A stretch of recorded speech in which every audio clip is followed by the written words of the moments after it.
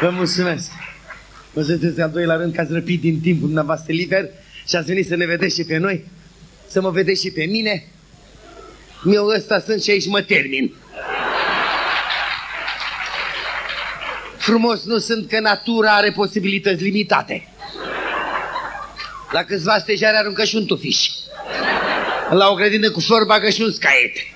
La câțiva porumbei aruncă și o dăunătoare de asta.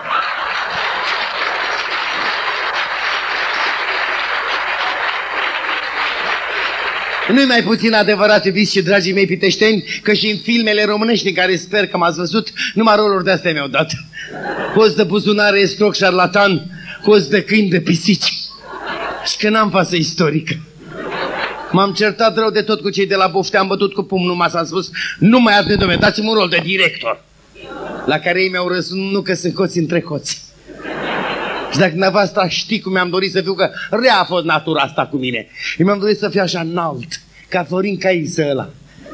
Dudă, pie, piersic, înalt, cu părul creț. L-am avut creț, l-am prins o ploaie.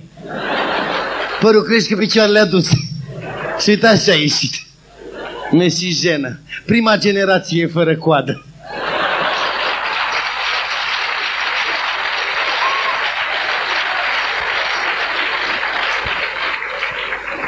Cine ești dumneata, domnule Jean Constantin, și ce ai făcut în ultimii cinci ani? Asta la coadă, să moară mama.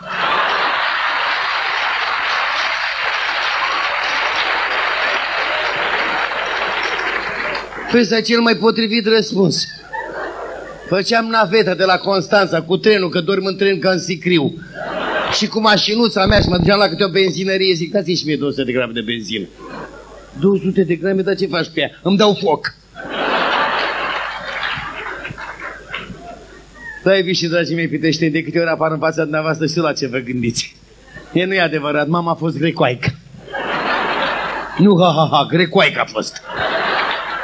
Rude cu Aristotel, Aristofan, Sofocle, Onasis și cu Nicu Constantin. M-am născut pe malul mării, în aripa stângă a unei vile cu două aripi.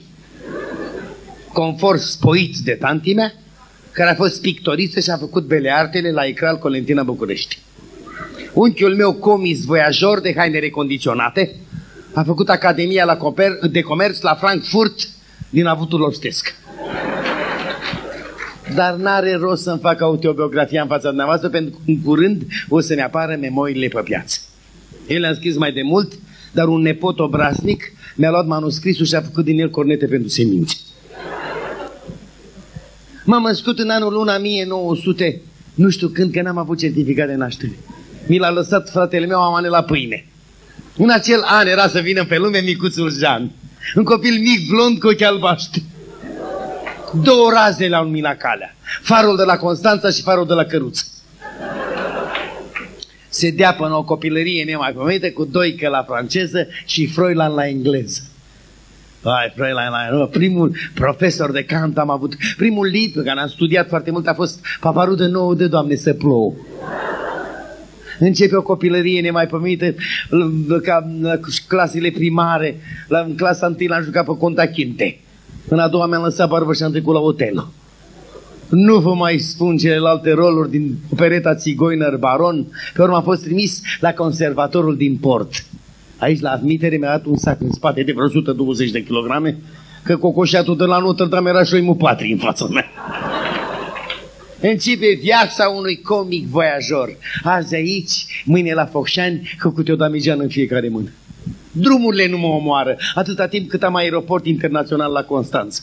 Și dacă ceață ce? Ține să suspend avionul. Pe mine nu mă suspendă nimeni. Pe mine să mă ridice cineva 15 metri, că pe forțe proprie ajung. Am mulțumesc, iubiții mei, fitește. De râsul lumea am ajuns.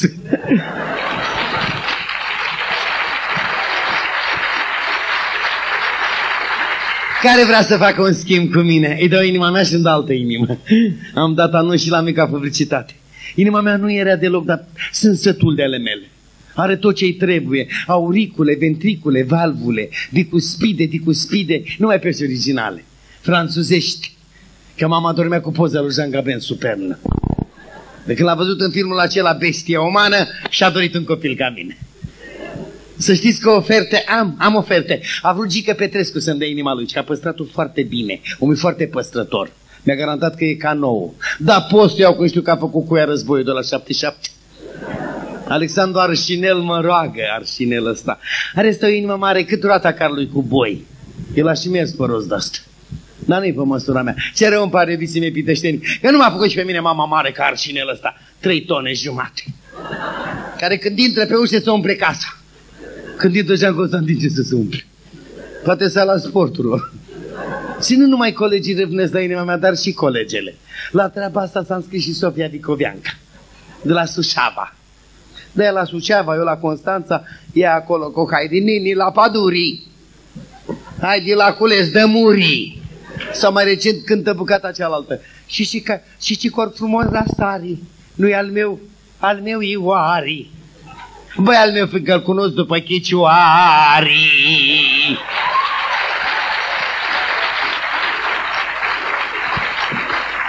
Cu Corina Chiriac am aranjat totul. De-aia mă ține într-una cu inima ta, ba nu, ba da, ba nu. Nu se decide. Cu Mirabela, cu Mirabela am perfectat actele. Dar nu știu ce a pățit cu fotoliul din odaie, că a venit elementul și a lăsat chiștocul în totigaie. Și a început să strige, te aștept să vii. Și a venit pompierii. Scandalul dracului acolo.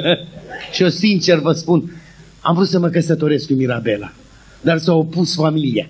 S-a opus familia, bărbatul. Să știți că de la mine luați o marfă bună. Pentru că inima mea este inima unui tânăr care a plecat din satul lui să facă artă. Și iată că acum mă frământă și pe mine de întoarcerea la sat. De aceea în fiecare seară, cu gândul și cu picioarele, mă întorc în satul meu. În satul de vacanță de la mamaia. Lăsați-mă la vatră, lăsați-mă la șatră. În natură m-am născut. Vreau să fiu plătit în natură, e mai simplu.